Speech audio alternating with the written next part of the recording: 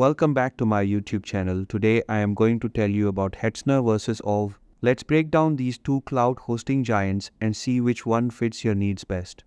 Hetzner is a German-based cloud provider known for its affordable yet high-performance cloud computing and dedicated servers. It's a favorite among European developers and businesses due to its cost-effective pricing, eco-friendly data centers, and strong data protection under European laws. Hetzner's cloud solutions are simple, reliable, and highly scalable, perfect for those who want a no-frills cloud hosting experience without breaking the bank. On the other hand, Ove is a French-based cloud and dedicated server provider, offering a wider range of services including VPS, public cloud, private cloud, and even bare metal servers. Ove has a global presence with data centers across Europe, North America, and Asia Pacific.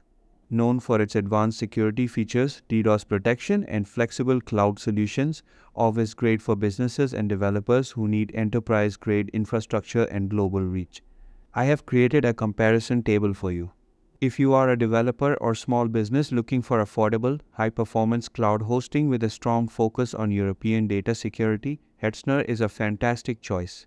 It's simple, reliable, and budget-friendly, making it ideal for cost-conscious users.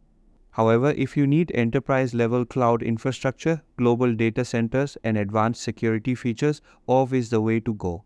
It's perfect for scaling businesses and developers who want robust cloud solutions with added flexibility. In short, go with Hetzner for affordable cloud hosting and dedicated servers in Europe. Choose Ove for enterprise grade cloud solutions with global infrastructure. Let me know in the comments which cloud provider aligns with your needs.